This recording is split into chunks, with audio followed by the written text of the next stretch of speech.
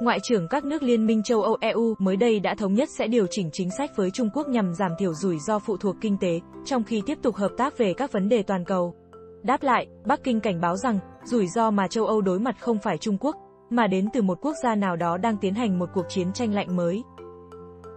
Kể từ khi xung đột tại Ukraine nổ ra, quan hệ EU-Trung Quốc đối mặt với những thách thức ngày càng lớn. Theo ông Joseph Borrell, đại diện cấp cao EU về chính sách an ninh và đối ngoại, mối quan hệ thương mại giữa Bruxelles với Bắc Kinh đang ngày càng mất cân bằng và khối 27 nước thành viên cần tìm cách giảm thiểu rủi ro do mối quan hệ này gây ra.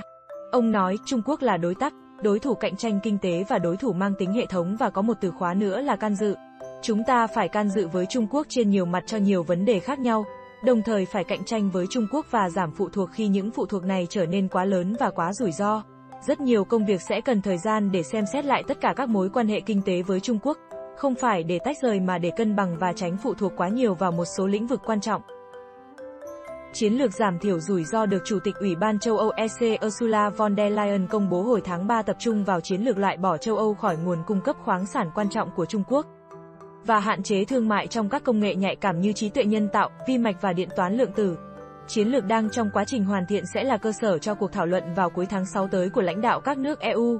Vào thời điểm hiện tại, trong nội bộ EU đã xuất hiện những ý kiến cho rằng đã không còn phù hợp cách tiếp cận khi coi Trung Quốc đồng thời là đối tác, đối thủ cạnh tranh kinh tế và đối thủ mang tính hệ thống. Từ cuối năm 2022, quan hệ giữa hai bên được cho là đã bước vào giai đoạn khởi động lại toàn diện với các cuộc đối thoại và trao đổi trên nhiều lĩnh vực. Bắc Kinh đã cố gắng cân bằng giữa việc duy trì quan hệ đối tác chiến lược với Moscow và giảm thiểu áp lực đi xuống trong quan hệ với Bruxelles. Tuy nhiên, những quan điểm khác nhau về Trung Quốc trong nội bộ EU được dự báo sẽ tạo nên những yếu tố phức tạp. Tổng thống Cộng hòa Séc, Petra Pavel bày tỏ vui mừng vì cách Trung Quốc hành xử hiện nay liên quan đến cuộc xung đột Nga-Ukraine. Nhưng ông cho rằng, các mục tiêu chiến lược của Trung Quốc thực sự không tương thích với các mục tiêu của EU.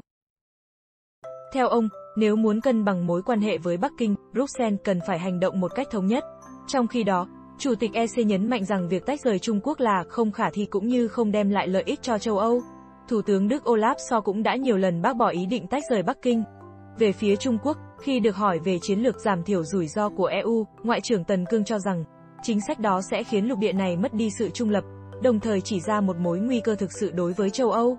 Theo ông, một quốc gia nào đó đã lạm dụng tình trạng độc quyền về tiền tệ của mình và gây ra lạm phát cũng như là khủng hoảng tài chính trong nước với những tác động lan rộng nghiêm trọng.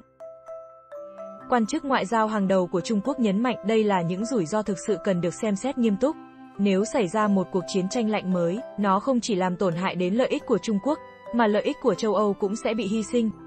Đó là rủi ro thực sự cần quan tâm. Ông lấy dẫn chứng cho lập luận của mình qua một báo cáo do Viện Nghiên cứu Kinh tế Austria và Quỹ Doanh nghiệp Gia đình công bố hồi đầu tháng này, ước tính tổng sản phẩm quốc nội GDP của Đức sẽ giảm 2% nếu nước này chia tách với Trung Quốc. Ngoại trưởng Tần Cương đánh giá cao lập trường của Berlin và Bruxelles, song nêu ra mối lo ngại rằng chiến lược giảm thiểu rủi ro của EU có thể trở thành một quá trình khử Trung Quốc tại lục địa này, dẫn đến cắt đứt các cơ hội hợp tác ổn định và phát triển. Ngoại trưởng Tần Cương đã phản đối mạnh mẽ các biện pháp trừng phạt tiềm tàng mà EC đề xuất đối với các công ty Trung Quốc bị nghi ngờ nhập khẩu nguyên liệu chiến lược từ châu Âu để tái xuất sang Nga.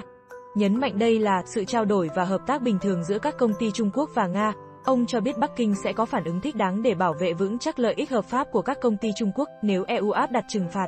Ngoài ra, ông cũng tái khẳng định rằng luật pháp Trung Quốc cấm vận chuyển vũ khí đến các khu vực có xung đột, cũng như có các quy định chặt chẽ quản lý việc xuất khẩu hàng hóa có thể được sử dụng cho cả mục đích dân sự và quân sự.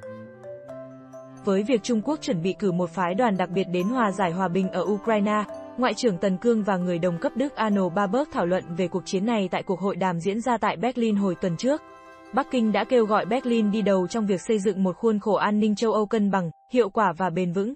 Trong khi đó, Ngoại trưởng Arnold Baberg một lần nữa nhắc lại lập trường của EU, hối thúc Bắc Kinh gây sức ép nhằm buộc Nga chấm dứt chiến dịch quân sự đặc biệt tại Ukraine. EU là một đồng minh trung thành của Mỹ nhưng cũng phụ thuộc mạnh mẽ vào quan hệ kinh tế với Trung Quốc.